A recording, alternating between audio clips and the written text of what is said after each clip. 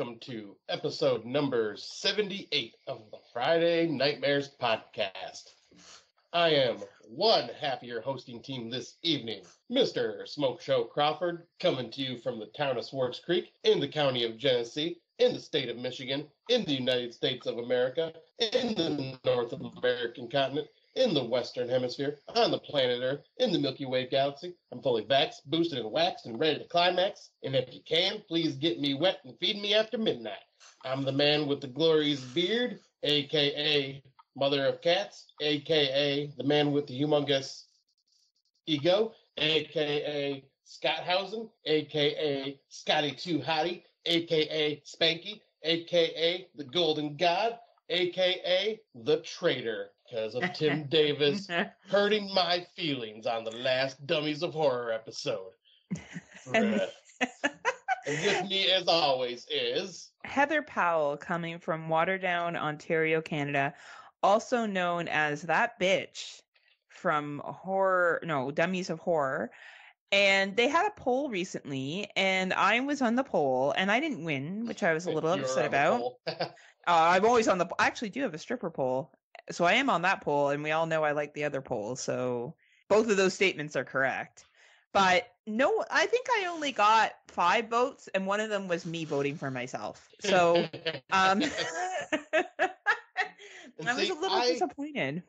I couldn't vote for you just because you're not that you're not that bitch to me. No, I, I'm actually not a bitch to them either. It's just No. kind of a. It's just their thing.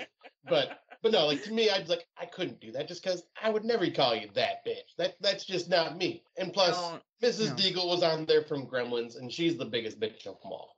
Well, and like if we're the biggest bitch is Tim. Tim whining Oh. about wrestling. And like, you know, he just is whine, whine, whine, whine, whine, whine, whine, whine, whine, whine, whine, all the time. Whine, whine, whine. It's kind of like Rob Humphreys is whine, whine, whine, whine, whine, whine, whine, whine. It's big whiners. But a big thank you to those two for coming on our wrestling show, our one night stand number Yeah. two, You Up. Um, we had a really good time with them, and we're going to try to do that quarterly. It's hard to do with our schedules sometimes, but we do have a date booked in June that we will be recording again. Uh, so I'm excited for that. I always, I really do enjoy connecting with them. They're a lot of fun. Um, Yeah, really- two good was- dudes. Two good Yeah, dudes. it was super fun, and for me, super easy to edit because our conversation was just because we're all good friends. Our Mhm. conversation just flowed. We didn't have, have to like no weird pauses or anything else to worry about. Like it just was natural. I loved it. We And hopefully next time I will have a better sounding mic. hey, don't feel self-conscious about that, Scotty. We have what we have. We're just we're not to the uh the podcasters that are shown in some of those horror movies that are like the Joe Rogan type. We're more of the. Hanging out in the basement and doing this as a true hobby type. And um what was I going to say? But also we we record with video on. And I think that really makes a difference. Like if you're It looking does. at starting a podcast, I strongly recommend video where possible because I've done them with and without video and let me tell you, being able to see Scotty's reactions or our guest reactions to things makes it way easier. Yeah, and it's uh you don't stumble over each other a lot of the time. I mean, yeah, there still is a bit of that, but it's way less than if you don't have the uh, camera on because you can't see someone getting ready to say something or get ready to see some or see their face knowing that they're about to like stop saying what you know what they're talking about and you can jump chime in. You can also react in the moment. Like Exploding Heads Yes. records with camera on as well. Um, and I do think that is a huge advantage. I really, really do. And I think Daniel and Tim do as well. Yeah. And I think that just makes this the flow so much easier because really you does. can also like expression wise if scotty makes a joke it's funnier because i'm watching whatever he's doing making that joke so then i'm laughing more about it than if it was just like a verbal thing without any kind of visual cues so i think that that is really really important um to be able to do that and make sure you have that kind of connection Yeah, it definitely is. so, but yeah, we have a couple of 2023 movies that we need to get caught up on. Um, so Yeah, we got one, two, three, four, five, six, seven, eight, nine, ten, thirteen to talk about. Look at us. so I and we think we've watched the majority of the same ones, haven't we? Uh, yeah, there's a couple on here I have not either finished or I have not watched, but uh, all but all in all, majority of them I think we've all seen. Well, and we're going back in time with some of these too because it's been a little bit of time since we've watched them. Right. So, why don't we start with the first one? We watched this one. This was a Tubi one that we watched when we were kind of, I don't want to say desperate. we were trying to find things to watch, and it is This Land. Should I do the promo for it or introduction, I guess? Um, sure. started. Yeah. All right, so this is a 106 minute runtime. You can find this joy on Tubi. Uh, divided they fall. Two families from opposite ends of the political spectrum turn on each other after com- after cabin rental mix-up, but must work together to survive after a sinister group emerges with an ancient past. Um, yeah, what did you think of this? This was a while ago. Um, from what I can remember, I had fun with it. It was uh definitely an easy watch, but uh, yeah, you could definitely say they picked two side like you they picked the far left and the far right of the political spectrums, not just like com- like completely opposite as they come. Mhm. and put them in a situation. But uh, yeah, there was a lot of stupid choices made throughout it, um, like just decisions on what they decided to do, and a couple of uh, things that I would go on. You wouldn't do that after what this character had been through. But all in all, like I still find it find it found it enjoyable. Had some good gore, some good kills, had some good suspense to it. There were just some points where I was just kind of rolling my eyes, like, all right, people, this. I mean, I know this is a horror film, but come on, like some of these decisions are a bit far-reaching. Like when the whole cabin rental cabin mix-up comes up, and they're like, "Oh, we'll just both stay here." No, no, I I would just be going, you know what? You guys keep it. We'll go to a hotel. not gonna just force ourselves upon something like that. But you know, besides like some of the stupid decisions, it was still an entertaining watch. It was weird. It was like this low budget film that was low budget but not. I don't know. It was weird. Yeah. It started off kind of one way. And then in the third act it like did the zoo zoo around so it went absolutely crazy. Um and it was very very I don't know, it was hard to kind of put your finger on what kind of movie. like what what were they going for? Like there was almost this weird political stuff that they sewed in there, but at the end of the day, it had nothing to do with anything. Right. You know, and I, I didn't really get that. I felt like they were trying to do a political movie, but then they did this twist with an outside group that really wasn't political. I don't think they were political. Hmm. Um, and I don't know. It just it kind of went. It kind of just went weird for me. It wasn't a bad movie, but it was a weird, weird movie. yeah. Like I mean, for a Tubi watch and just something to kill the time, like it was perfectly fine. That's how I looked at it, anyways. Because I was like, because Eric and I watched this together while we were uh, doing one of our Tubi Tuesday date nights, and yeah, we poked fun at it, but we also had fun with it. Right, right. And speaking of poking fun but having fun with, I guess we can move on to the next one. Uh, that is Night of the Bastard. From, Oh uh, yes, I remember you recommended this. Kind of, kind of. Yeah, uh, it's got an 82 minute runtime, and the synopsis is after an injured young woman takes refuge in his secluded home, a gruff recluse must fight off a bloodthirsty cult and an insatiable sorceress to save both of their lives. The battle to survive becomes a gripping race against the clock to escape a perverse ritual of blood and flesh. So, yeah, this was just, I once again, like we were talking about the cover art, poster art type thing. The poster art to this kind of caught my eye, so I was like, oh, okay the title sounds cheesy. Why not? Let's let's check it out. And yeah, I didn't mind it. I thought it was fine. Um, once again, just some silly decisions made. Um, and it was a bit over the top, and the bad guys and characters were all a little bit over the top. But the gore in it was pretty awesome. Um, and for the people that this matters to, it does have some nudity. But uh, like all in all, like I found this like the uh, chemistry between the gruff old man or the gruff loner dude and the injured young woman. It's nothing groundbreaking, but I thought they had a pretty good chemistry together. Mm-hmm. Mm-hmm. but like it was like that same old, same old, like kind of like different opinions cl- clashing, but they get along at the same time and look after each other. And yeah, like I thought it was mainly just fun for all the gore that was in it, and just like the kills and stuff like that. Yeah, I would agree with you. It's funny; these last two movies are very similar with the whole premise at the end of the Yeah. day. Both of them low budget. I do agree with you that the gore in this one was better than this land. Um, I think you liked it more than I did, but I did appreciate what they were going for. And for a lot of people, like I looked it up, this was their first acting gigs or writing gigs and stuff. So like, you know, if this is like your first kick at the can, it's not horrible, but I probably wouldn't recommend it to anyone. It is available on iTunes, Google, Vudu, YouTube, and Microsoft Store. I don't know, unless you're a filmmaker and you want to see how other people make films, rent it. Otherwise, I don't know. That's my thoughts. What do you think, Scott? I'd say 99 cent to a dollar 99 rental tops. Okay. Like nothing amazing. Once again, just something easy to watch and just kind of fun with the gore. Yeah. Right? Um it's and the thing is movies like this don't usually go for a 99 cents to a dollar 99 rental, do they? They're usually like No. 6.99. Yeah, like unless like unless they've been out for a couple years, then Yeah. Right? So anyway, the next one that we have on our list is Missing. Um, now, did you watch Missing? Did you get a I chance to? Oh, nice! I kind of want to hear your thoughts. What did you What did you think? I really loved this. So Oh, nice. Missing is the sequel to Searching, which I never did watch Searching, but I know a lot of people loved it, and I know Tim Davis absolutely, absolutely loved this film.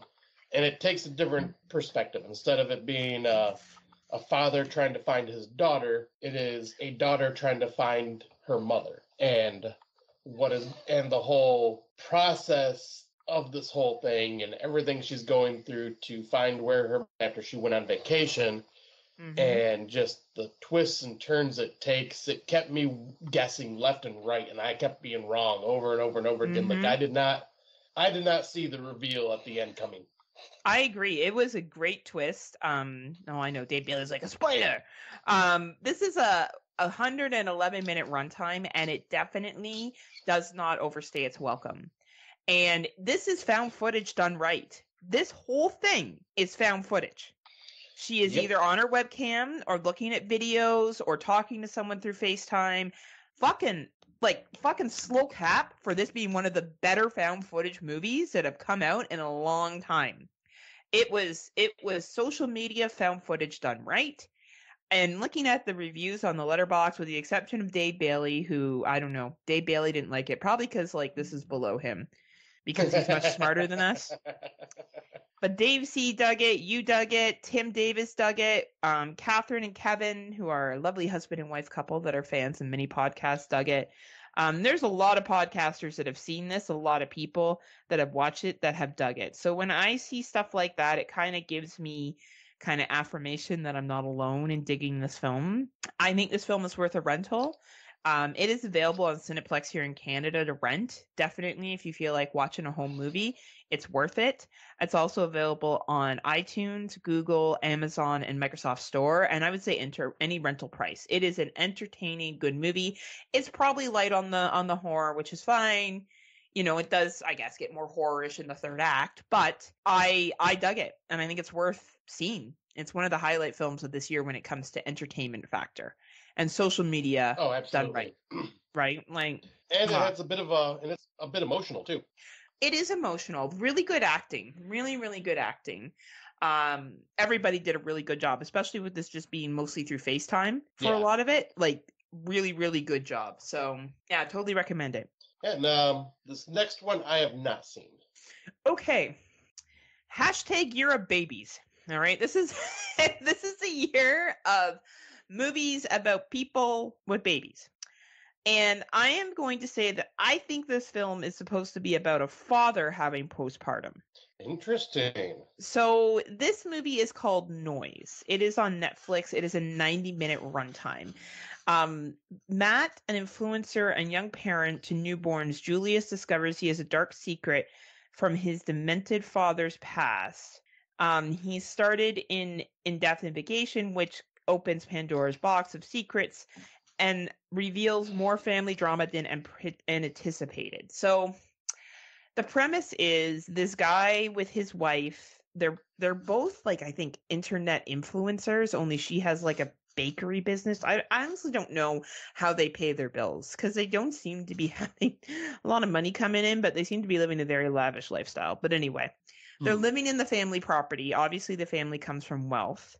Um, and there's a pass there about what happened to this gentleman's mother when she gave birth, some postpartum stuff. And what he starts going through. So, usually, where we see it's the mother, in this case, it's him.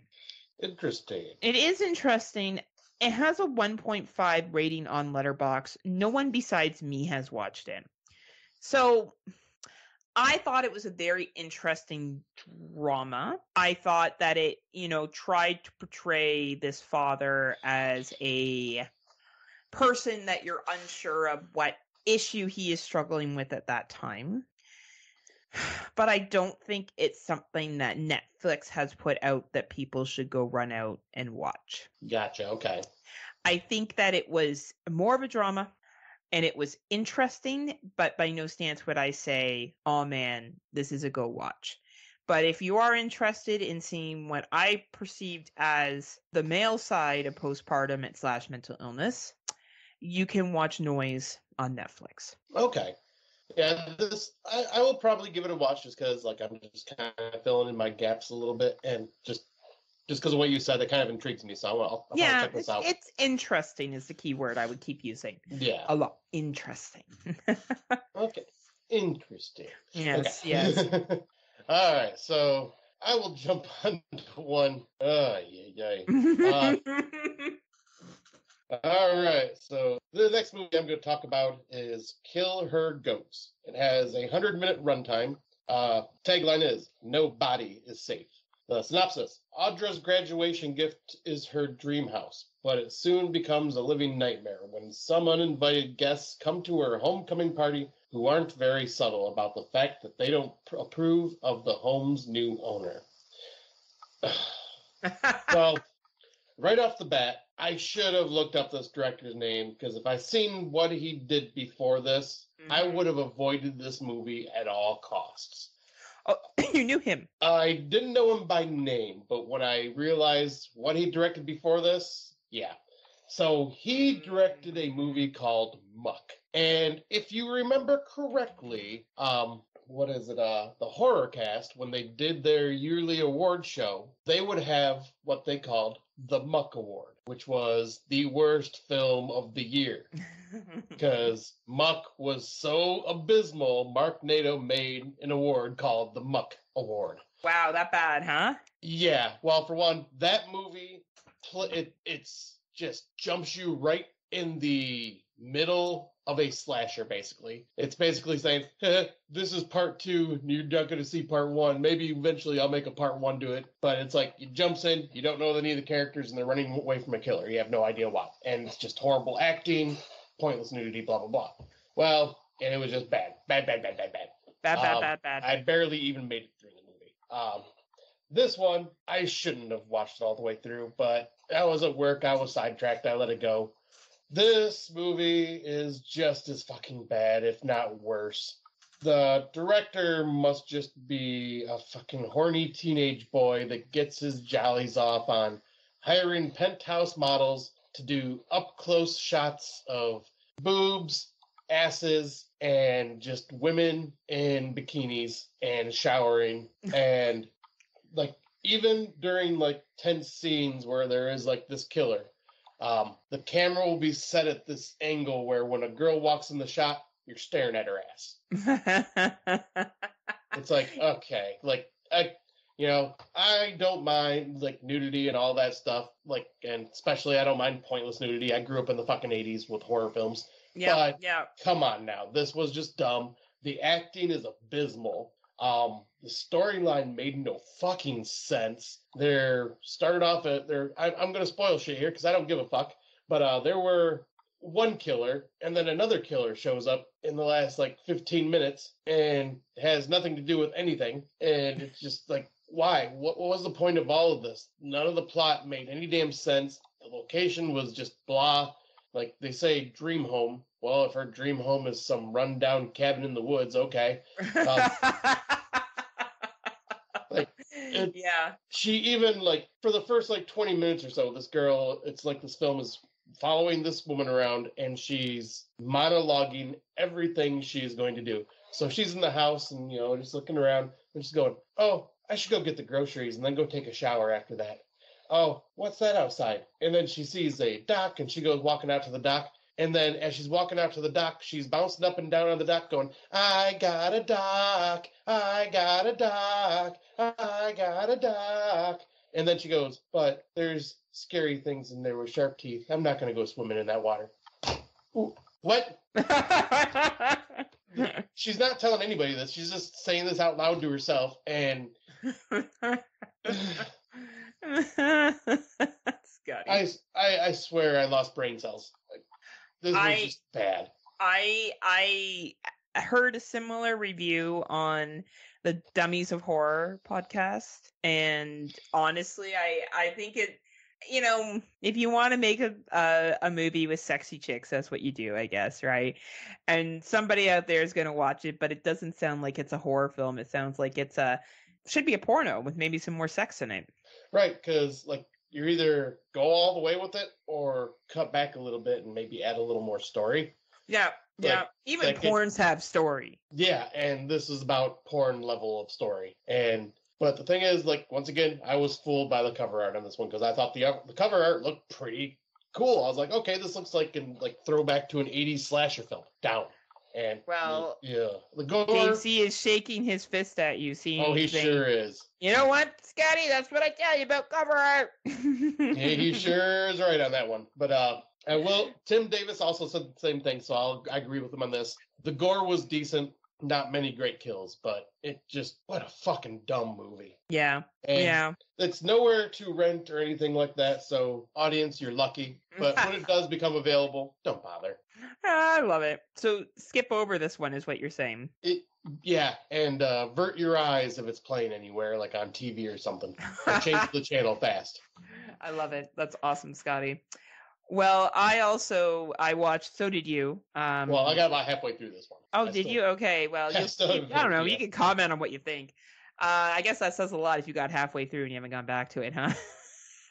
Well, No, it's just been a it's just been a really busy week at work. I have not had a chance to watch anything. Yeah, I feel that. All right, so this movie is called Leave. It is one of the more recent Shudder drops, so something did drop this Friday. Uh, that we're recording this previous Friday. This is a 106 minute runtime.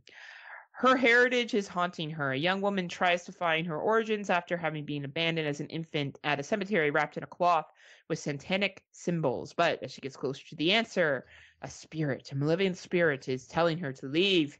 Um, this movie was fine enough. Okay, if you got Shudder and you enjoy ghosty movies, this is obviously a ghosty movie. I think you will dig it. The acting is good enough, but this is a paint by numbers plot that you see coming 18 miles away. If you have ever watched a horror film before, you know what's going to happen in this movie Oh boy. if your friend has ever watched a horror form before horror movie before and they tell you about a plot you are going to know what's going to happen in this movie it's not anything that is going to be you know super brilliant but it is entertaining enough if you like ghost movies you got the shuddy and you feel like throwing something on go ahead but don't expect to be wowed this is available on amc all the shutters and direct tv I suggest only watching if you have the Shuddy and if you're like Scotty and I that watch basically everything. Um, if that's what we do. Right. And We watch all Shudder releases, new releases, generally speaking. yeah, I was saying uh with this one I am about halfway through. Um and yeah, I find it okay so far. Um just really nothing happened like so far like uh well I mean stuff happens but nothing horror has happened yet. So I'm kind of curious to see what that is all about. So I will yeah, I will try to finish it cuz I think this week at work will be a little lighter. fingers crossed. You know, you got to get into that Shudder, huh? I do. I'll say because I'm a little behind because I have an, another new one came out this week that you watched that I have not seen yet. Or the census, all the census soon. We'll be talking about all my number one movies just have to do with census this yes, year. exactly. Right. Anything that's on something, but you got something that you got to put on here. Pretty All right. exciting. A long awaited sequel, I'm pretty sure, to this masterpiece. Oh, absolutely. So, this is the sequel Sorority Babes in the Slime Ball Bowl-O-Rama Part 2. This movie was a sequel to one from the 80s. It is on uh it is available on Tubi and it was only 61 minutes. So I was like, "Eh, all right, I'll watch it cuz I found the original Slime Ball Bowl-O-Rama one entertaining. It's silly, Mhm. it's dumb, but it was entertaining. It had like that 80s cheese to it. Um, but uh, the synopsis is the babes are back, and so is everyone's favorite wish granting, murder loving, mischievous gremlin, the imp. The Tri Delta sorority house has seen better days, but the girls are intent on gaining some new recruits. With house mother Mama Spider as their guide, the sexy hijinks and hilarity begin. Meanwhile, though, the Bowl-O-Rama bowling alley has had a break in and a breakout with the escape of the magical and murderous imp. It's a new, no holds barred fight for survival, and only one mysterious girl holding the answers to the riddle of the imp's wish. Ay, ay, ay. so apparently, this is the week of, or the episode of Scotty regrets his decisions because this one, yeah, this was bad. Um, because once again, this is another. I shouldn't. Once again, Scotty should have known better. Full Moon came up as the people behind this movie, and I'm going, you know, Full Moon in the '80s, hell yeah, okay, there, this could be fun. Full Moon nowadays usually goes, oh boy, okay, this is gonna be bad and really cheap. And yeah, this was so just. It took them like it's a 60 minute long movie. Took them about a half hour to even get to the bowling alley and then the effects were dumb the shit that Mm. goes down is dumb and then it just kind of abruptly ends. Like that's it? That's how you defeat the imp? Huh? What? Really? This is how we're do- that's how we're doing this? I love your face. Your face is the best. You're like, what? How? this why uh, once again i blame that i'm watching these at work and that's why i let these go longer than they should. But uh yeah this is an avoid. This was nothing special whatsoever uh i should like i like i always make fun of lego sequels and to do a lego lego sequel legacy sequel or whatever y'all call it Yeah, yeah. to this movie that was just okay from the 80s yeah. Once again scotty should have known better but once again it was only an hour long so what could it hurt? It hurt my brain is what it could do where can you? Where if someone decides they want to torture themselves, where can they watch it, Scotty? uh this is available on tubi and rob i do not recommend Oh no! watch this rob do not watch sorority babes at the Slimeball Uh, Bowl-O-Rama You know he's gonna watch it. this is why i'm saying it but don't but it- watch it rob Um, thank God we have these recorded to prove that we tell him not to watch these films that he just goes and watches anyway. Exactly Honestly. and then he blames me saying they're my number one films Yeah, well, we're gonna hear about my number one film. Oh, yeah, we right are. Here. It's funny, Scott. Okay, so since Scott now has a girlfriend, and for all of you who are Facebook friends with him, you know it's serious because he updated his profile pic to the picture of her and him, which I have literally in the four years I have known him and the one or two women that he's courted in that time or seen has he ever posted a picture. I don't even think I've ever seen anyone in his profile pictures. Have you ever posted profile pictures with other people? uh just my parents a long time ago Like not even your ex-wife?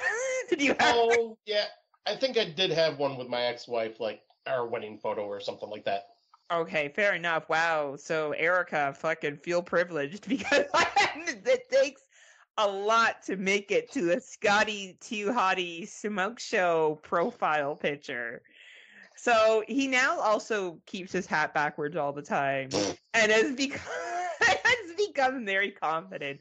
Obviously, Erica has rubbed off on him and done some magic.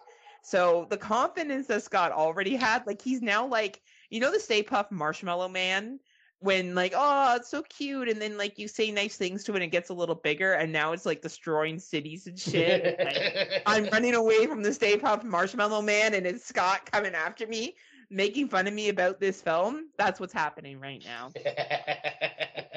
So just so we're clear, let's set the stage, okay?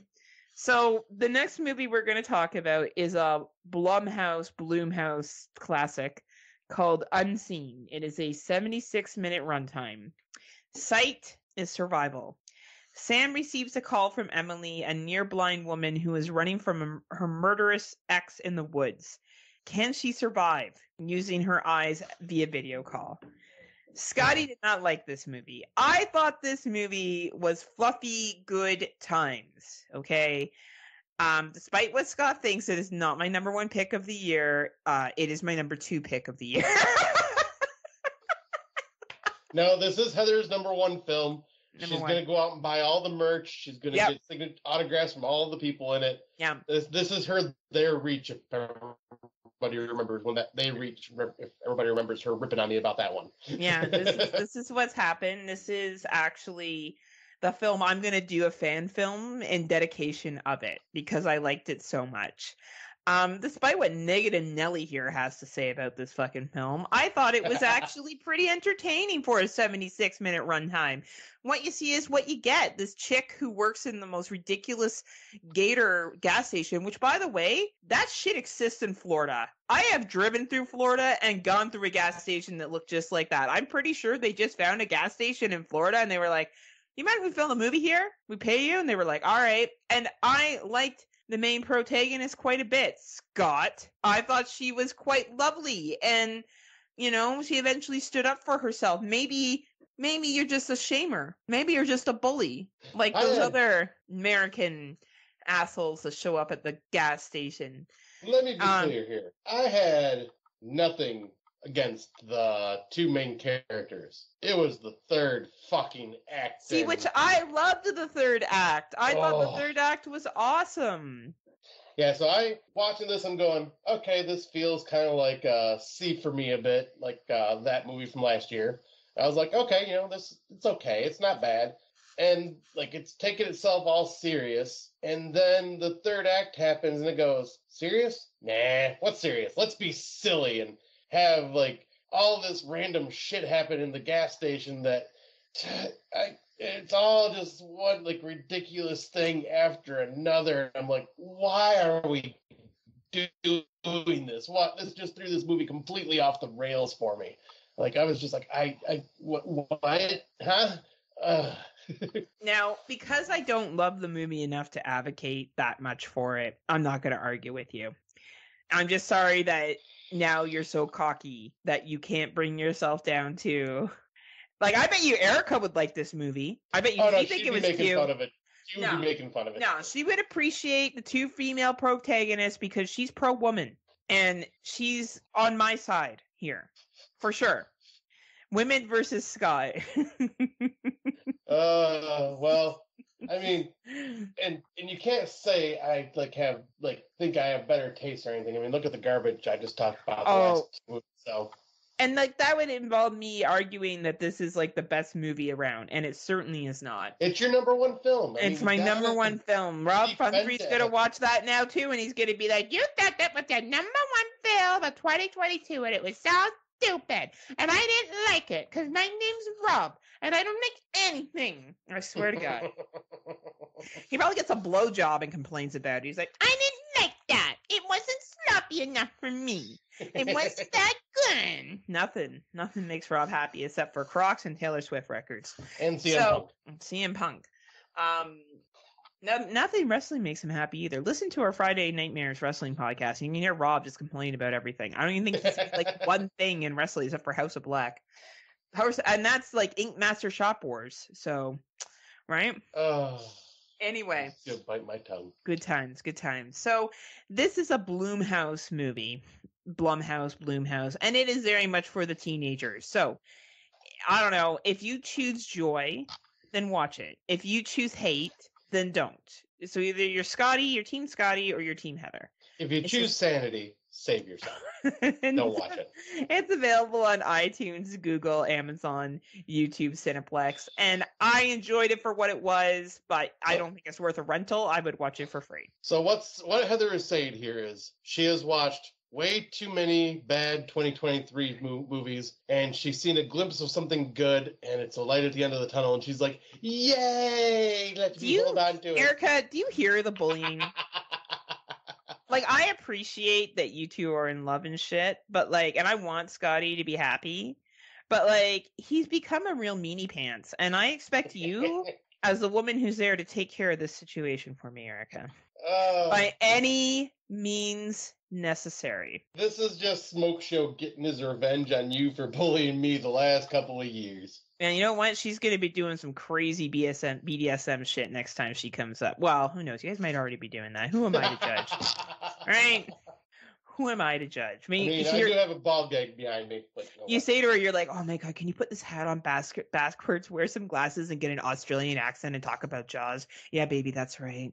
Mm, Tim, remember the scary movie where he's like banging his girlfriend, Oh, and then yeah, he says like the guy's a, the ball suit on. yeah, he makes her dress up in the full football outfit. That's you making her dress up like Tim Davis or for Tubbies. Erica's like, how does she know? I know Erica. I know all. I know everything.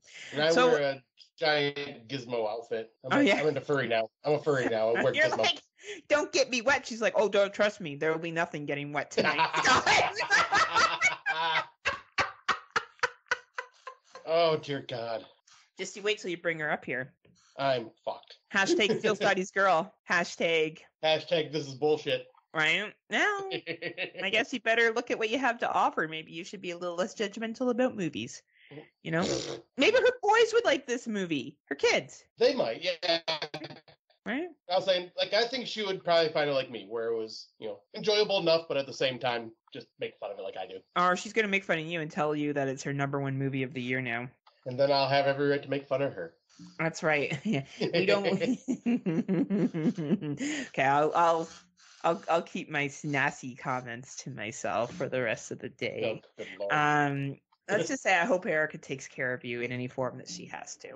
including beatings. Including beatings. Anyway, should we move on to the next one, which is the part Oh, talk about beatings? yeah. Beatings, Hey, Yeah. as long as it's consensual. What do we say on this podcast, Scotty? Yes, please. As long as it's Oh, consensual. oh, consensual. Yeah. I was just gonna say yes, please. yes, please. oh my god, you're like, "Mm, yes, Erica, may I have some more? and she's like, can you please stop? anyway, now we're done talking about Scott's in love life that he has and his joy and happiness. Um, okay, where are we? The park. Did you watch the park? no, not yet. Okay, so the park is a not, to get through this movie now is an 80 minute runtime. Um, yeah, Tim Davis talked about this, and Dave Bailey's watched it as well. Dave Bailey from Cemetery Gates podcast. Um, it's interesting. It's basically a, a coming of age movie on three kids who find themselves in an abandoned amusement park because there's been a virus that's gone out and it basically kills all the adults. Um, this was filmed on set at the New Orleans Six Flags. Hmm. So, for all my Americans, brother and sisters, you would know that there was a horrible uh, hurricane, I believe, that flooded out Six Flags. So the whole park got fucked, and now there's some of it still standing. So that's where they filmed it, which was the favorite part of this movie for me. I thought the kid actors did a pretty good job. The dialogue was what was kind of weak. The story was a little weak. Um, but I did very much enjoy the dialogue and the low budgetness of this.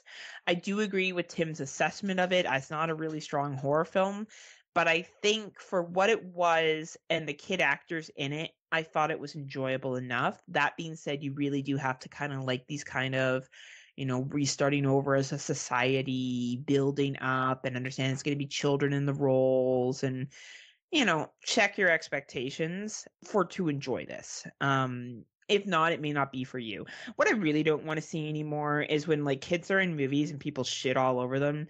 Um, the movie that came out last year that was filmed in the indigenous community, where none of the kids were Oh, actors, yeah. but someone came in to teach them how to coach, and then people were like, "Oh, the kids couldn't act because they couldn't be bothered to Google and understand the kids actually weren't actors, but they were part of an indigenous community." And as we all know, in North America, we've real shit on our indigenous people.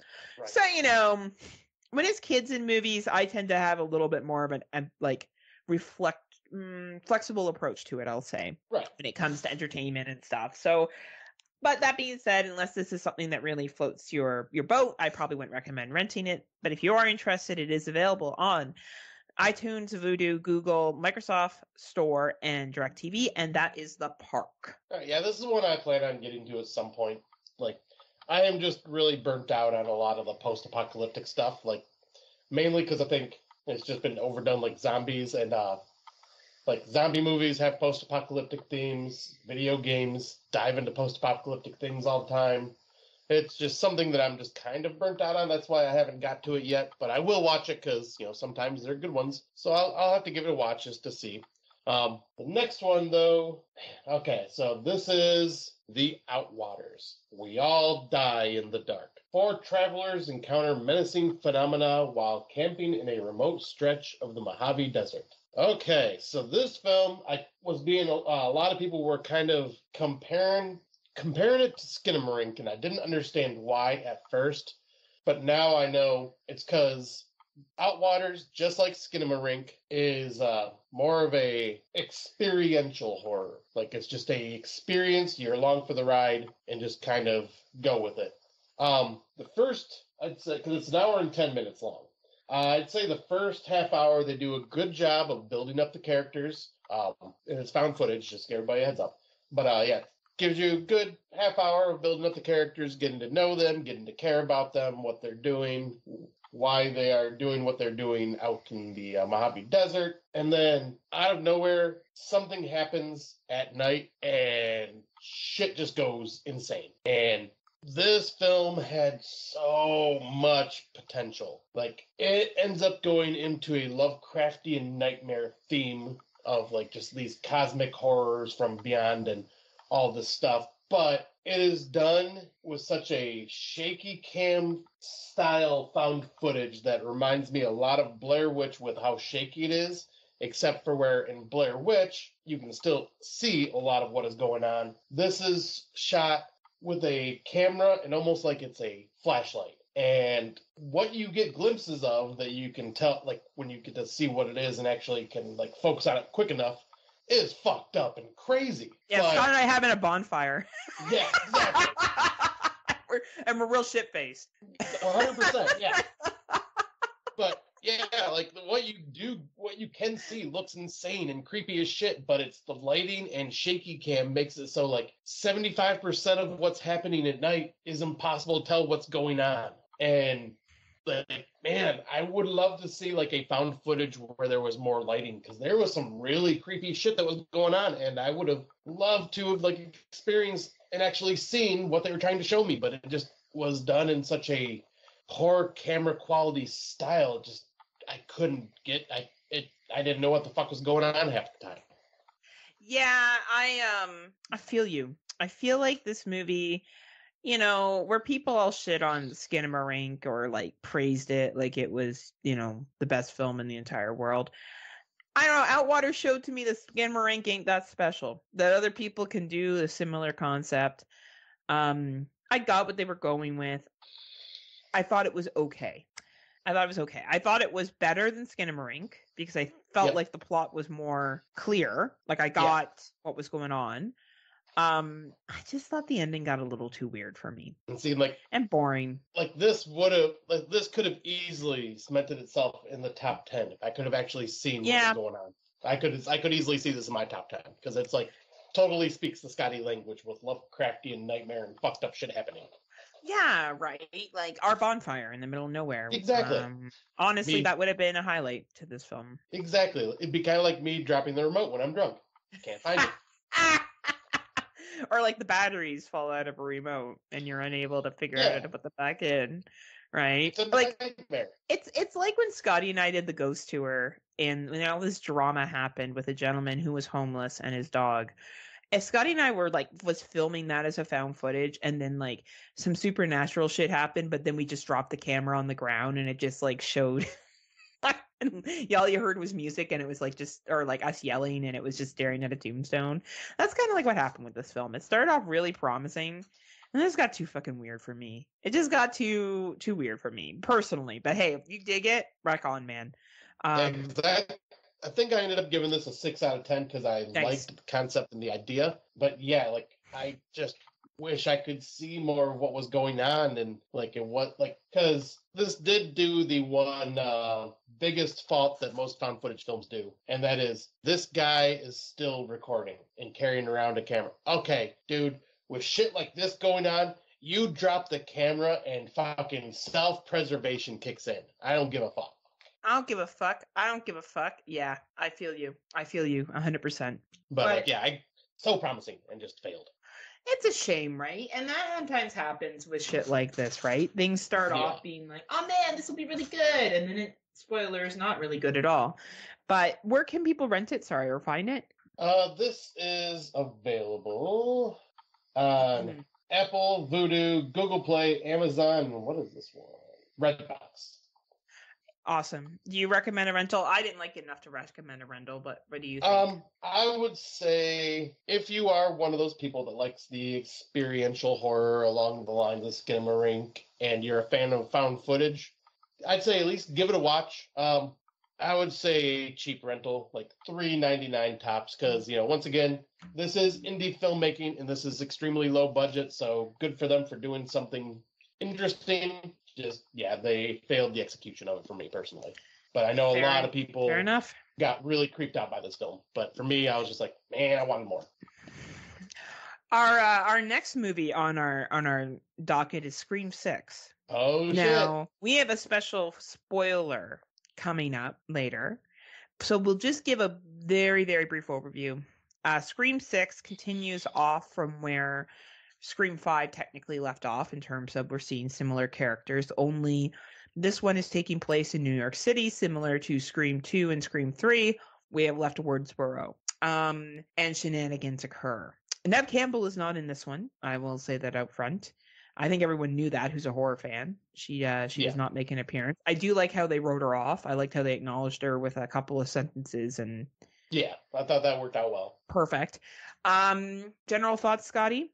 Shockingly enough, after the shit that I gave Scream Five, I really, really, really dumped this one. Um, it it does what a sequel should do. It ramps up the gore while keeping a similar style to it. Does something a little different with the motivation, which I will keep uh, for when we do the review later. Um, the only thing, just like most Scream movies, is the reveals at the end were eye rolling, and there were some cheesy moments, but this one was kind of more of a go for the throat style Scream movie, and I, I got applauded for that. I had fun with it. I think the biggest thing I will say to this is I think they did a really good job of leaving legacy characters behind and moving forward with establishing these characters. Um, it felt very similar to Scream 2. Yes. Um, even the motivation for the killers felt very similar. Um, if you recall who the killer was, obviously, we'll talk about that more in spoiler. Um, but yeah, it was good. It was a good movie, Yeah, and like- I one I- of the say, better utilized- Scream films. Yes. Um, I completely agree. I think this is like my tied for my second favorite now because Scream 2 was my second favorite. And I think this is time for it now. And I think Um, if they continue on to, let's say, the third one mimics Scream 3, um, even though I enjoy Scream 3, this could be the chance for them to get it right. Right. Right. Yeah, and uh, I do have to say too, I love how they utilized the New York setting. Yeah, I thought they did a pretty good job of using their budget. Like, there's, we'll talk about it in spoilers. There's some ridiculous scenes. Oh, absolutely. But like it's a fucking Scream film. You know what I mean? Like I don't expect much in Scream films to be quite honest with you. They're they're kind of just there. Um but we will Yeah. get to that. and I will say also, uh, this one kind of uh, added something to Scream 5 to a certain character from Scream 5 that makes me appreciate the motivations a little more from the last film. Yes, I would agree. I would agree. Um finally we'll well final two that we'll talk about is Children of the Corn. Scotty and I managed to see the soon to be, I guess what would you call this? Remake? Readaptation? Um, yeah, I would say this is a remake. Um, I believe it's currently available to rent. Shudder will be picking it up soon, uh, or will be on Shudder eventually. It is a 92 minute runtime. This movie was made in 2020, but it was shelved. Um, at least over here in North America, we're just getting it Yep, same. now, right? So Possessed by a spirit in the dying cornfield, a 12 year old girl in Nebraska recruits the other children in her small town to go on a bloody rampage and kills all the adults and anyone who opposes her. So, thoughts, Scotty?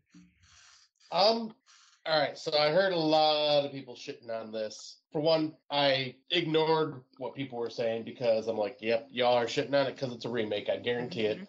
Mhm. But I'll tell you all right now, I'm not the biggest fan of the first Children of the Corn. I so like, fucking like, boring. yeah, I like the first quarter to first third of the film. But once the uh, strangers show up in Nebraska, like after their car breaks down, then the film just gets kind of boring to me and then picks up a little in the final act. This film, though, I like what they did. They uh, I they ended up going with the whole children killing off all the adults in the town and focusing on that as the main plot. Where in the original film, the, all the adults are killed off within like the first ten minutes of the film, and they kind of do a boring Mhm. story after. I liked how they made that the main focus for this story. Um, there is no Isaac or Malachi, so I can see why like fans of that film of the original would be upset.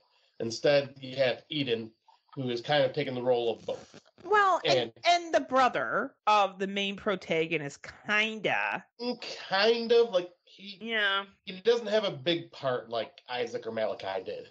yeah, yeah. I mean, he's there. He's kind of there and has a little bit, but it's like they could have used him, utilized him more. I think. Agreed, agreed. But um, all in all, I thought this was decent. It wasn't terrible. I like of all the Children of the Corn movies, it's right up there with the original for me because I find all the Children of the Corn movies pretty damn bad, like the ones I've seen.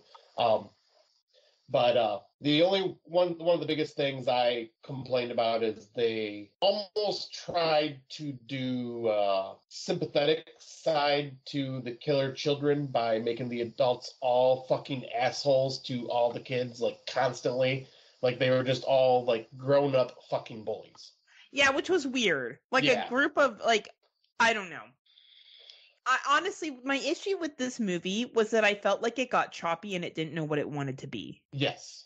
like there was some moves made like this was a movie that maybe we'll do a spoiler of at some point because there was some moves made by some of the characters in this that I was like what the fuck Right. like why would you do that like I feel as though this movie must have suffered from studio interference because it had the makings to be pretty good Yeah. like the premise at the beginning was pretty good um the setup to what was gonna it was it was kind of the second and third act where i was like what the fuck Yeah. and like a lot of deleted kills like a lot of like aftermath you see shit Yeah. happen and like i don't know it was very now the main character the main young lady who played um eden which is katie moyer.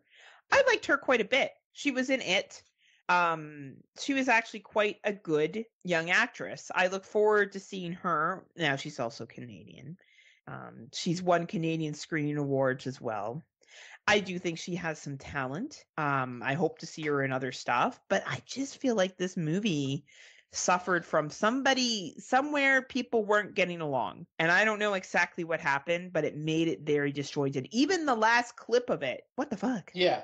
what the fuck Well, the last clip kind of sort of ties into what happens to Malachi at the end. Kind of. Kinda, but not really. Yeah.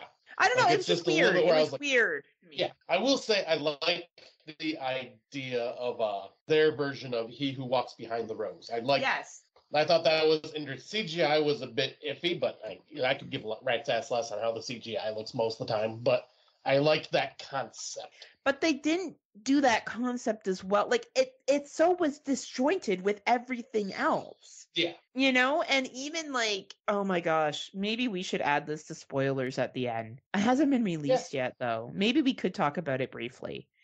Because like I feel like we got two really good movies to talk about. Well, I don't know. Like I think Children of the Corn, if we do talk about it, we'll talk about it some other time because it was just it had such potential.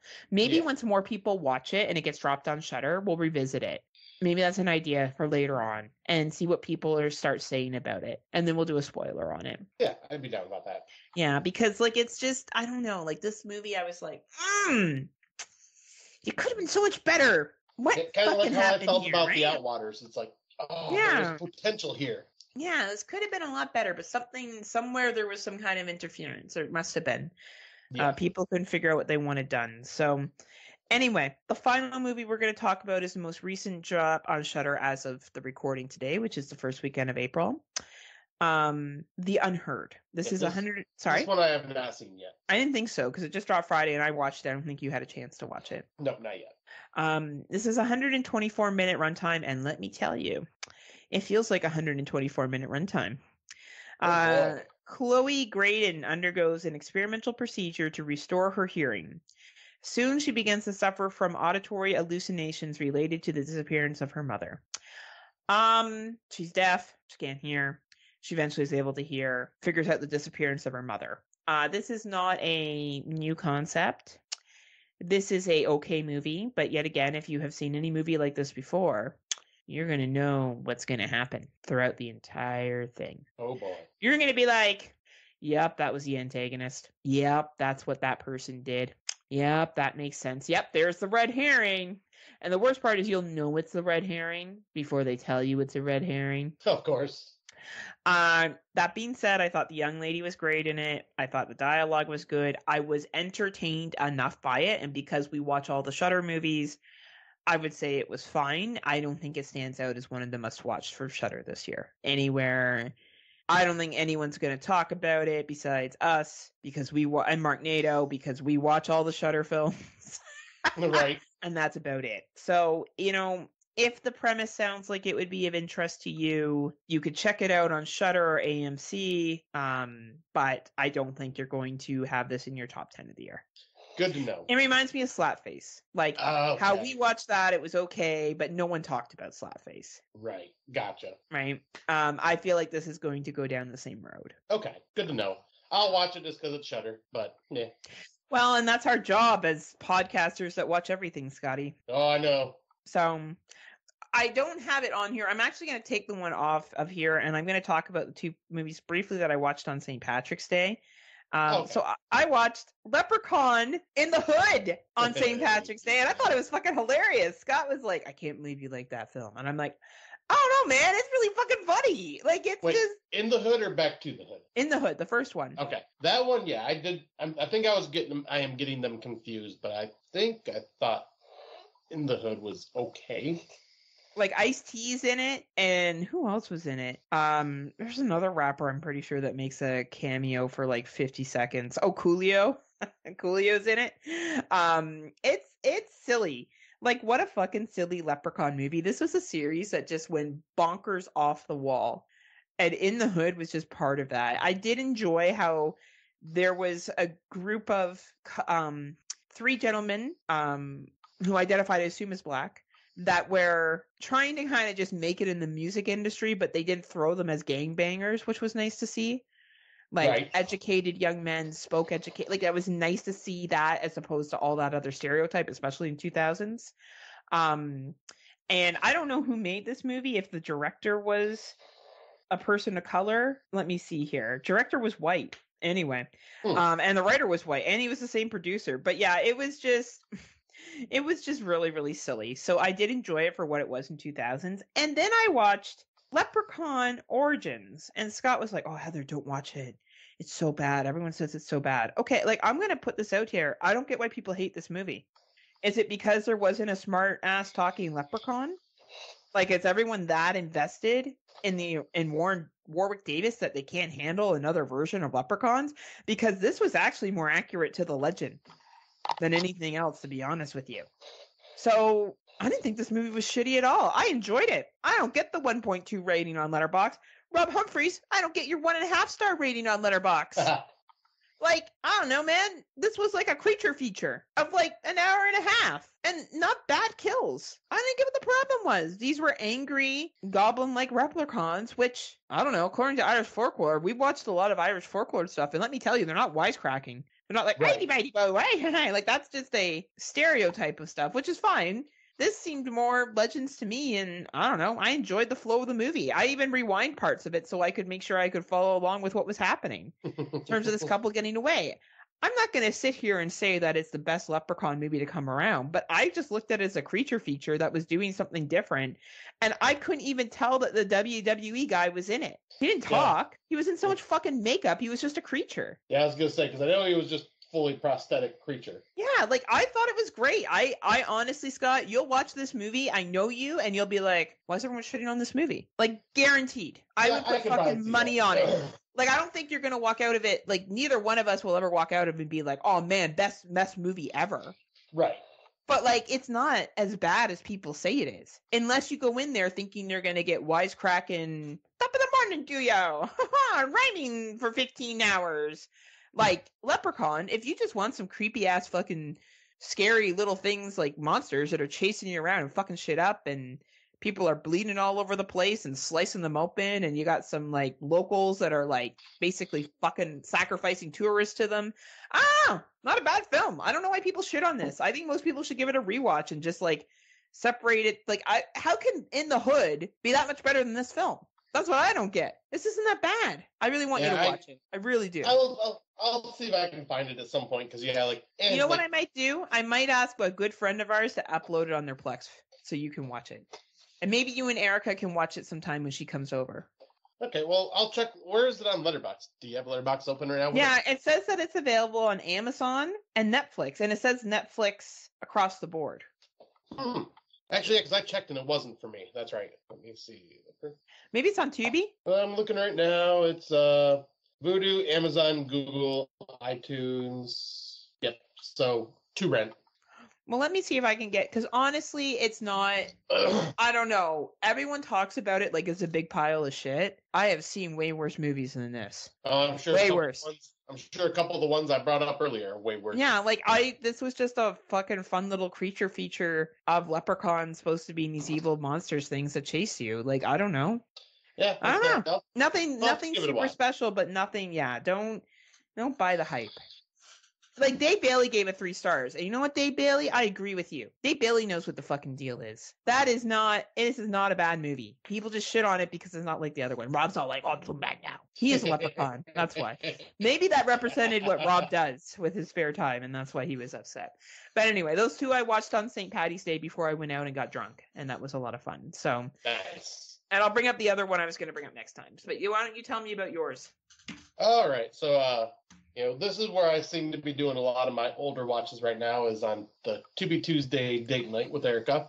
We just kind of, you know, pick random movies. Uh, oh, you have a girlfriend? I do. I don't think I talked about her enough yet. Oh, it's well weird. You never bring it up. Ever. no, not at all. Neither do you.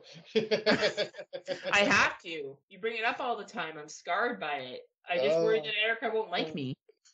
Uh, well, I don't know what lies you've been feeding her about me. Oh, terrible lies. Terrible, nice. terrible, terrible. Nice. But uh, she chose this one, and it was called The Domestics from 2018. Oh, did I sum up think- what she was going to do to you when she was coming to see you that weekend? yes. But uh, what intrigued me though, like when I looked it up, was Venom gave this four out of five stars what? from Mr. Venom from Fresh Cuts. So I was like, ooh, okay. So we started watching it. Uh, the synopsis or the tagline: "In the end, defend." The synopsis is: A young husband and wife must fight must fight to return home in a post-apocalyptic Midwestern landscape ravaged by gangs. This is where post-apocalyptic ac- the setting actually worked for me. Um, Okay. This felt almost like a, a horror version of like Mad Max. Cool. Like it's uh, husband and wife. They're trying to get back to see her mother because uh, and she lives all the way out in uh, want to say Missouri. I can't remember exactly, but uh, you know, hundreds of miles away, or hundreds of thousands of miles away, or whatever. And uh, the only reason they're going out there is because they had not heard from her mother. They would talk on the phone all the time, or like you know, communicate with each other, and all of a sudden communication just stopped and Mm. she she was extremely worried and needed to get out there to find out what happened to them, to her and her dad. Yeah. And uh, so they take a chance by getting in their car and start heading to the to the state where their mom and dad live. And there are several different types of gangs that basically run this world now. Like if you're caught on the street, you could run into like all sort sorts of different members of these gangs, and each gang holds different territories. And of course, these gangs are warring with each other as well as fucking with anybody that they just see that are innocent. Sounds like Canada geese. Yes, exactly. um, but man, um, this movie had some very tense moments and just some fucked up, uh, fucked up villains of gang members, and it was gory. It was just a lot of fun. It was like pretty much go go go from the get go. It wasn't the real low, not a lot of downtime. Nice. Um, my biggest complaints is the woman. Uh, what is her name? She's well known, and I think she was in one of the movies we recently watched uh, last year. Yeah, Kate Bosworth. She played the uh, wife, and the only complaint I had about was how her character was. Her acting was great, but some of the decisions her character made was just like, really, okay, a little unbelievable, but okay. Um, Mm. and like she gets wounded at one point, but then it just seems like that wound doesn't matter. Like she gets shot in the shoulder, then all of a sudden she's shooting a gun like a couple of days later, and like it's recoiling and everything. I'm going, yeah, you would be feeling pain from that, but she's just no, like she's. American. No. Yeah, she's like an American badass, basically. yeah, yeah, yeah. like that's like my only thing where I was like, really? But everything else in this I thought was excellent. It was really fast paced. It was gory. Just had some tense moments. A really cool, like, really cool horror road movie Nice. that I definitely recommend, and it is on Tubi. Awesome. And did Erica enjoy it as well? Yep, she really enjoyed it too. Like she had the same complaints I did about like Kate Bosworth. Well, this sounds like you two are two negative Nellies about Kate Bosworth, huh? hey, I like her as an actress. I think she Ah. was the one that uh, played the opposite end of uh, Justin Long in that Darkness movie. yes, he did. Yeah, and they're a cute couple too. Do you follow him on Instagram at all? No, oh, are they So I- together? Yeah, they're they're a real life couple. Oh shit! I, Yeah. And um, you know, in uh, oh my gosh, the one that you really liked last year, that was filmed in Michigan, Detroit, about the houses and the underground. Oh, oh, oh, Barbarian. Yeah, so you know when the agent calls and it's the guy and the girl talking to Justin Long, Yeah, it's Kate Bosworth. really. Yeah, yeah, yeah. And That's like, cool. and I've been following him on Instagram because I'm like, there's no way he like he plays such a like rapist, shitty dude. He there's no way this a woman like Kate Bosworth would probably be with a guy like that. You know what I mean? If that's truly what he's like. And so I've been following him on Instagram. He's a pretty like active political person and pretty Oh, outspoken about. Oh yeah, he's like I would definitely say liberal. Very liberal. Um yeah, he's a pretty like he seems like actually a really nice guy. Nice. Which makes sense because always the assholes end up like the ones that play the assholes always end up being the nicest people. Exactly. You know what I mean? Um, but yeah, it's he's an it, follow his Instagram. He's uh he's pretty funny. So all right, where are we? I oh what's new? So Oh No, not much. I- What, what's new with you? well, I'll tell you. So I started watching recently Unsolved Mysteries on Netflix, the new Unsolved Mysteries, and this is pretty cool. So there's three volumes of it right now, and they have a variety of different stuff from did someone commit suicide or was it murder?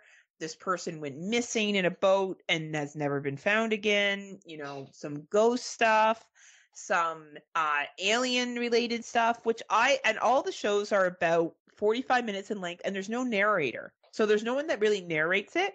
They just present the stories told documentation st- documentary style and then at the end it gives you a chance to be like are you aware of any of these people? There's a couple with abductions parents that have abducted children or grandparents that abducted children and it kind of goes through and, and shows you what they would look like now and i always watch for that stuff because you never know right if you can make a difference if you see something or you see whatever. But yeah it's a good little series on netflix i do think it's horror adjacent so if you enjoyed the original unsolved mysteries this definitely has more money and quality put into it and is filmed more like a documentary that you would see like a crime documentary from you know the 20 like from now from present day right um yeah recommend it's on netflix check it out Nice. Yeah, I was uh, because I've been curious about that. Like I've I've always liked the unsolved mysteries. So yeah, I'll I'll check this out. Um, for my what's new, I almost went because I was struggling to think of like what I did that was horror adjacent or like something that I was into. And I almost dove into uh, Magic the Gathering's new set, March of the Machines, and its uh, lore for that because they've been releasing little stories to kind of tie into what's going on in Mm. the card game. and definitely horror adjacent. But I was like, I'm not gonna bore people with my nerdiness this time around because I would be I'd probably go on for way too long about it. You're But, like, uh, not today, Satan, not today. So I chose another movie that uh, Erica and I ended up watching a couple weeks back on a Saturday Saturday called Heavy Trip. This is a uh, I would say kind of like a black comedy. It's Mm. not horror comedy at all, but uh uh oh okay. I was trying to think like um this uh tagline was weird, but uh the tagline is better shit thighs than eternal constipation. I don't know, I don't get it, but uh it, this is a uh, Swedish film or Norwegian film, if I remember correctly. But uh, the synopsis is Turo is stuck in a small village, and the best thing in his life is being the lead vocalist for the amateur metal band Impaled Rectum. He and his bandmates, right?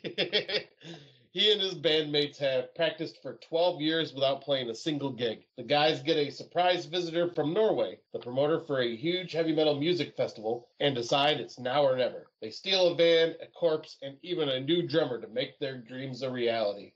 And this is totally like uh, black metal along the lines of like that Lords of uh, Lords of Chaos film, like a band like that.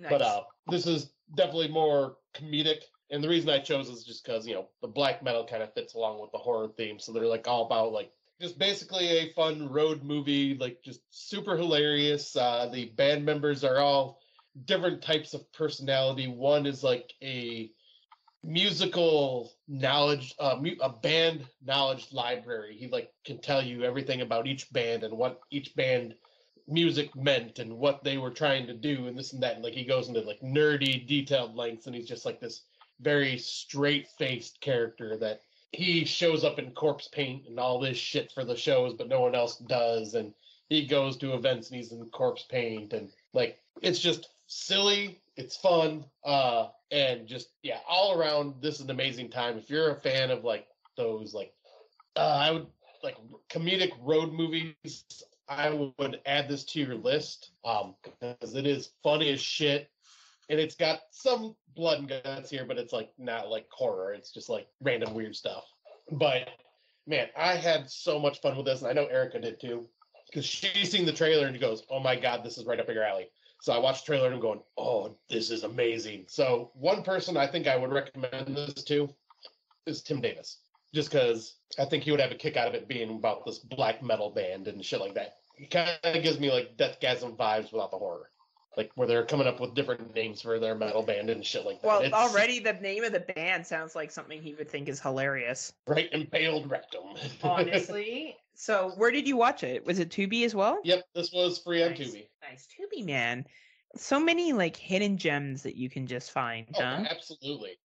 Right? Like it's pretty it's pretty awesome how that can occur. So I guess we'll move into our Out of the Dark, which is where we're going to do some spoiler discussion of Winnie the Pooh, Blood and Honey, and Scream Six. So if for some reason for some reason you haven't seen these movies, we totally understand if you want to leave us now. Um, but we will be discussing both of them in terms of just what we liked, what we didn't like. Uh, spoiler: I liked both, and I thought both were a lot of fucking fun. And I don't know both are very different when it comes to budget as well, which I think is an interesting discussion. Uh, one had a string, shoestring budget, and the other one obviously was filmed in New York City, so it had a lot more fucking money. It's a Scream franchise. But why don't we start with Winnie the Pooh, Blood and Honey? Um, so I saw this one before Scotty did. I saw it back in February, but I can still clearly remember it.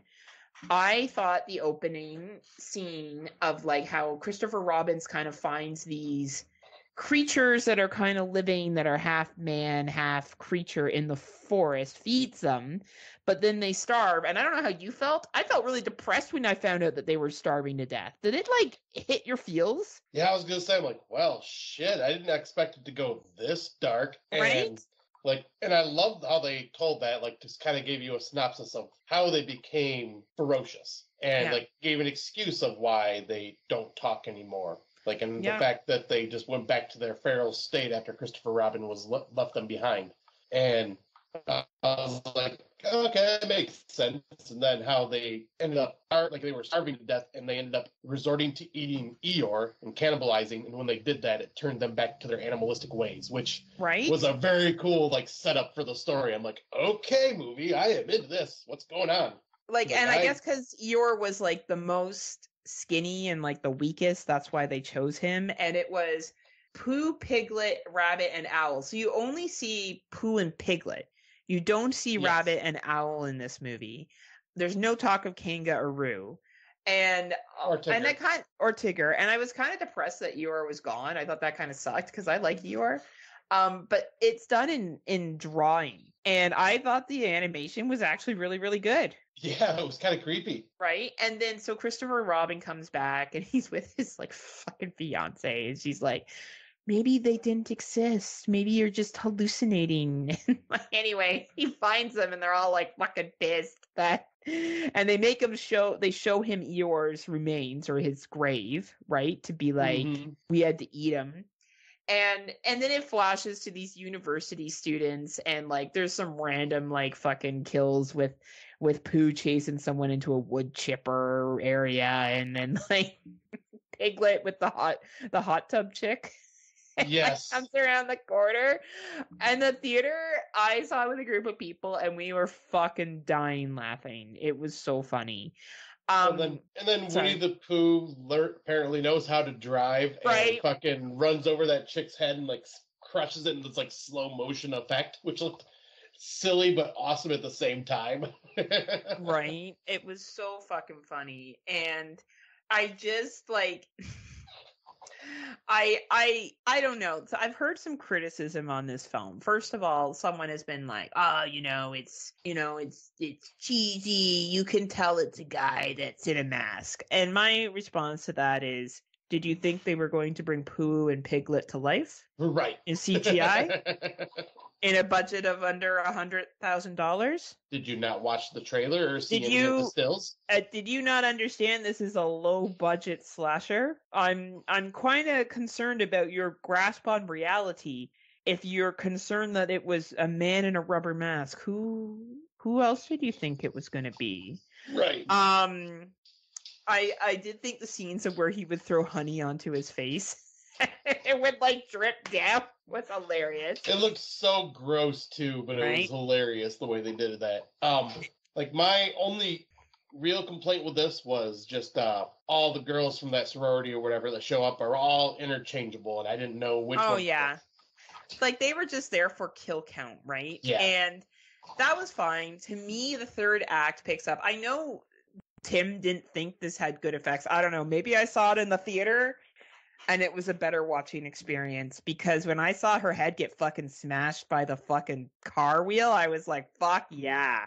Like I don't Yeah, know was how that isn't kill. a good gore and good practical effects, but Yeah, I thought they, they had some pretty cool kills. like Yeah. kills, and yeah, they were pretty good effects, especially for something low budget. Right and like i i liked when the four local men try to beat up winnie the pooh and he fucking kicks their ass oh like, yeah, fucking hilarious and I and, like, like- that they turned that around because you're like, oh, some weird hick locals are gonna like Yeah. harass these women, and no, they end up sticking up for them and defending them. I was going, oh, good job, movie. I expected them to be like some weird fucking people that Pooh would just kill just because they were in his way, but no, like they Right. actually were trying to defend them. Right and they're torturing a christopher robin fucking made me laugh and he's like pooh i'm sorry and like and when Pooh would look in the mirror and think about hearing Christopher Robin's voice being like, I'll never leave you. And, you know, obviously these are fictional characters, okay? But when you think about they wouldn't have the developmental develop developed ability to understand that they left. Um, and I I I think that that would be a really valid point on how someone would feel. Like if they Yeah. had the the comprehension of let's say a 3-year-old and they left and then you starved and you had to eat your friend to survive. You know, it's not a bad setup for hating Christopher Robin and humanity, No. right? And I think what stood out to me in this movie was the fucking ending. So he has the final the final girl. The girl that's actually done a lot right considering throughout this situation. She's run when she's needed to run, she's fought when she's needed to fight. And she's there she's obviously trying to get past some trauma. We have her session with the therapist earlier. You kind of build some kind of connection to her.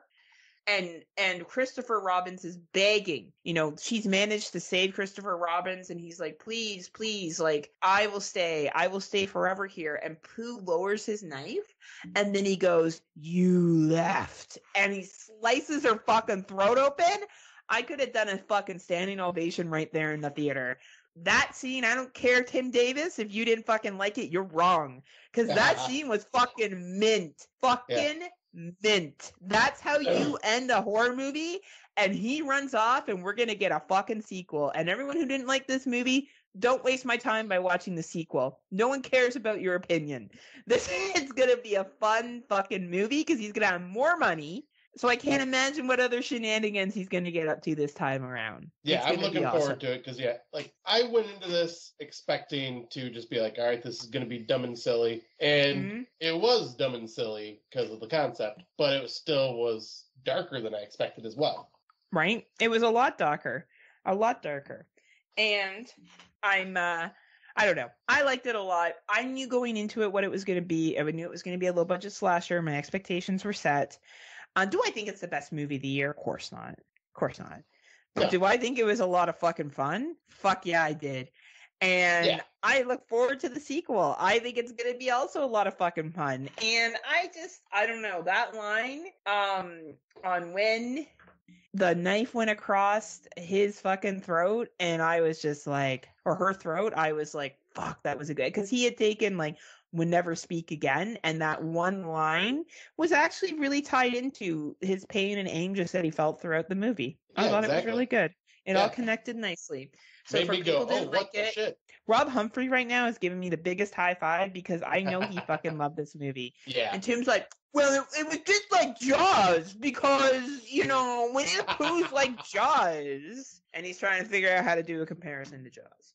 So just kidding, Tim. I know you didn't hate this movie. I know you liked it, but you constantly make fun of me all the time, except for the most recent episode. Finally, Scott got something instead of me getting it all the time. Yeah, that was hilarious. right? You are a traitor. At least at least I'm honest with Tim. Hey, I was honest with him too. He's still my side piece, Mitch. Um, I think he thought he was main piece. Well, I mean, if if I, if he was my main piece, then that means I was his side bitch because his main piece is Jaleesa. Well, maybe that's not how it really is. So maybe he's gonna pull a Winnie the Pooh on you one day, and he's gonna have me with a knife to my throat, and you're gonna be like, "No, please, don't, don't kill Heather. Friday nightmares. No, no, not Heather. She, she's the only one that likes Scream Three. No, no." And he's gonna be like, "You laughed," and he's gonna slice me open. I'm sorry. And then it's going to be all your fault. Just I so apologize. you know. I apologize now. I'm sorry. And he's going to be wearing a drop bear mask. yes. Anything you want to add about Winnie the Pooh besides like fun times? No, I, that, that I think we covered it up. I mean, it's very simple. There isn't a lot to talk about, like because no. it's just a basic slasher in that aspect. It's just it was fun. Paint by numbers. Paint by numbers, right? Yeah. Um, what about Scream Six? Okay, so uh, well, right off the bat, I have to say that opening fucking scene, wow, beautiful. Mm-hmm. That because mm-hmm. to kind of lay it out, since we are doing spoiler reviews here, like you know, it starts off with Samara Weaving in the bar, try, getting yep. ready to meet somebody that's on a like a dating app, and the phone rings because he says he's lost and everything like that. And you find out she's a professor at a college that teaches slasher films, like history of slasher films. like, man, I want to go to that class. But um, um, but they end up convincing her to come outside because they're they can't find the building. She goes out, gets and gets killed, and gets killed in a pretty gory way. And I'm like, oh no, not Samara Weaving. I like her, but uh, um, but then the killer takes off his mask, and I'm going, what? They're revealing him already? What the fuck? And then it goes to his apartment, and you see he's just an obsessed fan of Stab, because, you know, that's the typical way these films go. Um, and then he gets killed by Ghostface. I'm like, what the fuck?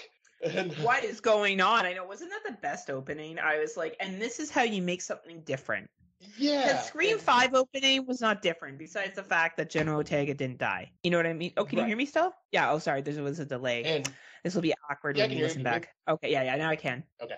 But uh, yeah, like I thought this was a unique take for an opening to a Scream film, and yeah, pretty goddamn violent with the uh, cut up friend or boyfriend in the fridge. Mm-hmm. Kind of gave me uh gave me Friday the Thirteenth Part Two vibes with uh Mhm. Jason Voorhees' mom's head in the fridge. I agree. Um, and then yeah, like then it kind of pans back over to the two main characters from Part Five and the couple of survivors, which I was a little confused because I did not realize the brother of uh, Randy's children survived. Like I thought he got killed in Part Five, but he did get killed off screen, so maybe he was just stabbed and left. Uh, yeah. Didn't you remember he got drawn? Like they were both the twins were in stretchers at the end. Oh, that's right. Okay. Uh, but yeah, so you get like the whole uh, them talking about like them them being basically Randy and talking about like what Lego sequels mean and how no one is safe and all this shit and uh, like one of the sisters is the older sister is trying to deal with her trauma by going to a therapist but not really talking about anything so she's not really dealing with anything like the most unprofessional therapist though ever. Like some of this stuff in this movie was so silly. No therapist would act like that. right Like, oh, I can't work with you anymore now. Oh no. Right, like- office, I was like, oh, get the fuck out of here. Get the Yes. fuck out of here. some of that was very silly but uh like Right. I like how it ties into like her getting constantly bullied and shit talked because uh, they find out she was Billy Loomis's daughter and that like started spreading rumors that she was the one that killed all of her friends in the last film and stuff like that. So it kind of makes this takes this path of oh is she gonna be the killer then? Is like did all this finally snap and Billy Loomis uh, kind of come out of her a bit because you know she did go crazy and stab the her boyfriend 26 or so times in the last Mhm. movie and it kind of plays on that for a while which i thought was pretty cool because it's like trauma but then also kind of a good a good red herring for that Mm-hmm. mm-hmm. and i and i do have to say the spirit of billy loomis coming back as just like visions of her unstable mind as she is dealing with everything plays out so much better in this than it did in the last film where the last film it almost felt forced to have him in there and I agree. where I agree. This was a little more natural. yeah, like I felt like you know, like just a voice in her head, kind of, which made more sense. And uh, I also do have to give props to the writers of this film for apparently listening to people's uh, thoughts on Stu Macher is not actually dead and he's still alive after the events of Scream One, because Randy's uh, daughter brings up like Yep, some people seem to believe Stu Macher is still alive. I don't know if he is or not, but people still believe that. I'm going, ha, that's kind of nice nod to them, like listening to people talk about their weird uh, theories on the films. Right. Right. And I think that the tribute to everything was was good. Like I thought the tribute stuff with the costumes and all this all the um props and stuff was really really cool. Yes. The things I didn't like about this movie. They get randomly attacked in the street and run into a convenience store, and they're not these this guy, these killers kill these random other people that are in the convenience store. Like it was a cool scene, don't get me wrong, but it seemed absolutely ridiculous. Because in the other Scream movies, the Scream killer only targets the people that they want to kill. They don't just Yeah. kill randoms. And I think I think that I kind of like that because it goes to show that all right, this killer does not give a flying fuck. I guess, right? But I just I don't know. To me it was silly. To me it was silly. Um I I did I did find the rant about the film stuff entertaining, but I could see how that would get on people's nerves. You know, when she's like going off in the park about this and that and the other thing and how everything comes together. I I just take that as uh that's just part of the Scream franchise. That's in every film. Yeah, yeah, it is. You're right, 100%. Um, but I did think that Kirby being in it, I thought that was really cool. Um, because you do never see her die. It is Right. true. She she never do get the confirmation that she died. Um, and I did think that the cop was one of the worst actors that I've ever seen. Um, and you kind of knew it was him the moment that he's like, "Oh, I saw my daughter. I they took me off the case and like he kind of like helps them and they're like all of a sudden the mystery machine gang trying to figure out what's going on. I did enjoy the the, the chase scene with Gail. To me that was a highlight. Yes. Right. And like I felt like she finally where Sidney always got to outsmart the killer. Like Gail had a couple of scenes where she did in some of the movies, but this was one that really stood out and I thought she did a really fucking good job. Like when she does the call back, I thought that was really That was smart. yeah, I, and I, it made me laugh because she's like, "Oh, hold on a second. He's like, "What? What?" And she hangs up on him. I was like, "That is fucking hilarious." Yeah, it was awesome. it was awesome. Um, the reveal was where I feel like it was like, oh, really? Like you kind of Yeah. thought it was that, but like it was like, I don't know. Like- and then it ties back into the boyfriend. And you're like, uh, here we go. Yeah, I was gonna say the reveal. Like I didn't. I thought the dad could have been the, the cop, could have been the killer, but at the same time, I started second guessing myself because I'm like, well, maybe it is Kirby, and then I'm like, well, maybe it's both of them. Oh no, the Yeah. cop seems to be more helping them. Okay, I don't think it's him. I do think it's the other less uh, notable sidekick character that was with the group, though. I was like, the Yeah. one that kept getting called Ghostface or whatever. I was like, yeah, he's but definitely. why did one. why didn't he kill the twin? Like he stabbed her twice, but he didn't kill her. Oh, uh, Or he or his sister did. Yeah, I think his sister killed uh, did, but I think uh, I think she thought she killed her, Oh, okay. or they were trying to like kind of like build up more uh, blame on who it could be or something. I think they're setting the seeds for the next one for her to be a killer. Oh, that could be.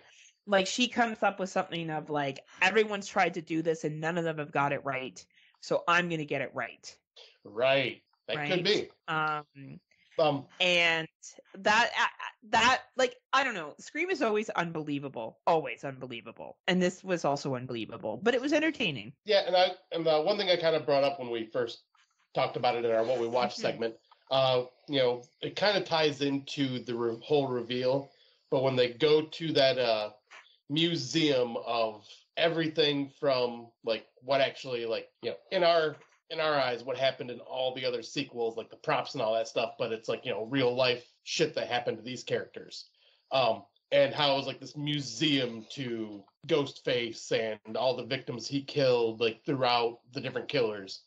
And showing that this was the main character's boyfriend the killer from the fifth film. This was his museum his obsession where i was going mm-hmm okay, his obsession, like his motivation now makes a little more sense to me. I like this because it shows he was not only obsessed with the stab movies, but he was obsessed with the real life murders as well, collecting evidence and shit like that that no one else should be able to get. Like someone that's gone a little too obsessive with like collecting shit from Ted Bundy type shit. right I'm like, Right. okay, so it's not just movies to that guy; it was real life shit too. He was obsessed with everything.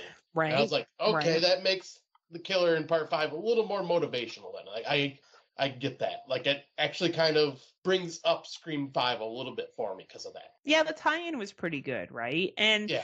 i again you know scream has a bunch of unrealistic shit that happens in every single film every single film is over the top and silly every single film and this one was no exception to that rule. It also had a lot of really weird shit and silly things that happen um the one scene i really did enjoy was the ladder scene where she had to crawl across the ladder. They both did Yes. trying to get away. I thought that was really well done and suspenseful.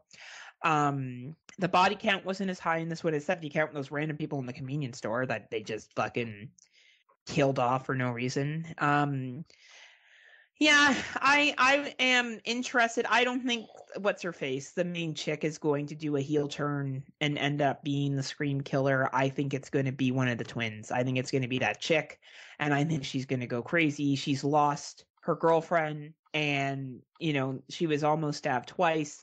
Nothing really seems to happen to her and i think she's going to be part of it. I do. Yeah, but I was gonna say, and her brother is basically the new Dewey, who's just gonna get hurt in every single movie.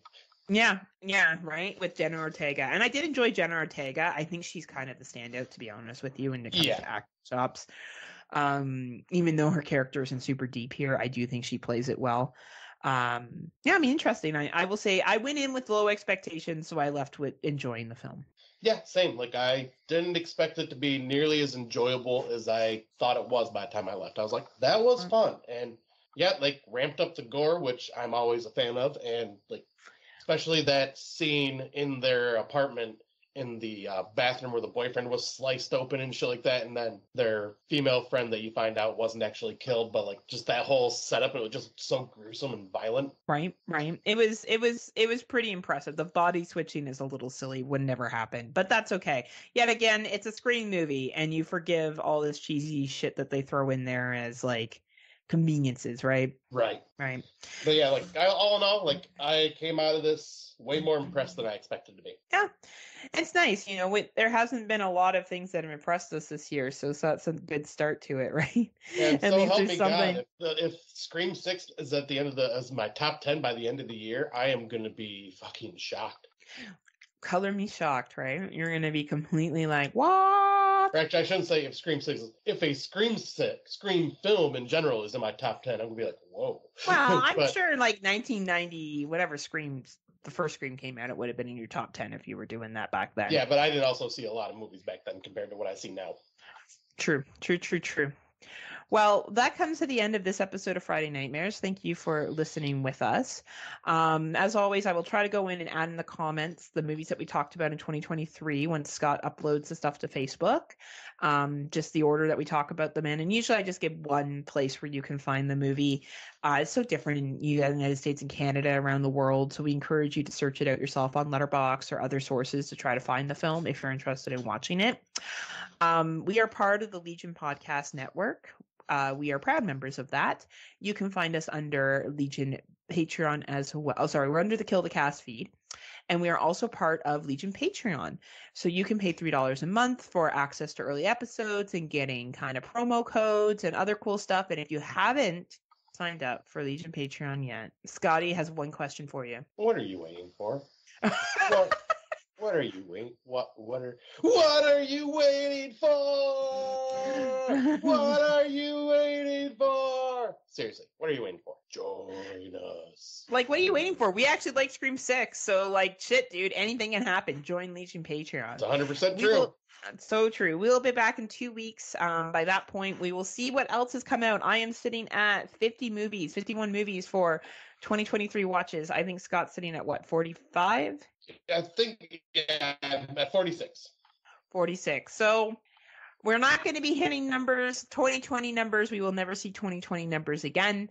Um, but I'm hoping to break 200 this year is my goal, as always. So we'll see what happens. Of course, we'll continue to watch all the Shudder releases, the finest that Tubi has to offer. Uh, Netflix Yeah. has really been bringing it this year, so hopefully we'll have more gems from them. Um, theater watches, I think we managed to hit all of those up so far. And of course, VODs as they come our way. So until next time, I guess Scott has some parting words for you. Until next time, kiddies. Unpleasant dreams. See ya.